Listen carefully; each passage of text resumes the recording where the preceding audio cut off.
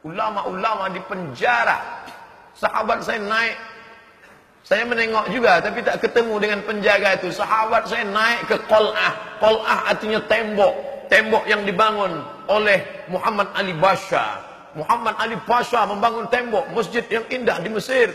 Tapi pada masa rezim kekuasaan Gamal Abdul Nasir, di situlah tokoh-tokoh pejuang Islam di penjaranya. Siapa yang melawan dia penjara?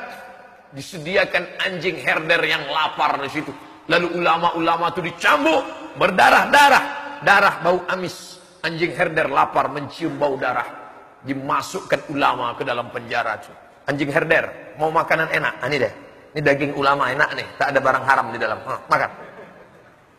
Datang anjing herder itu menjilat darah ulama sampai bersih sebersih-bersihnya dan penjaga itu menengok dengan mata dan penjaga itu menengok dengan matanya.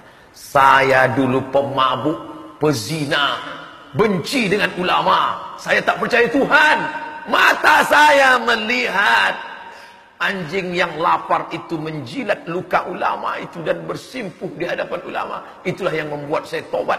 Dan di akhir usianya menjadi penjaga masjid bercerita kepada salah seorang sahabat yang berkunjung ke Qol'ah tembok benteng Muhammad Ali Basha. Allah mau menunjukkan.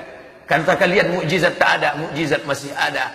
Anjing pun masih bisa membedakan mana ulama, mana perampok, mana penjahat. Tapi hari ini ada manusia yang katanya sudah lulus fit and proper test, tak bisa membedakan mana ulama, mana perampok.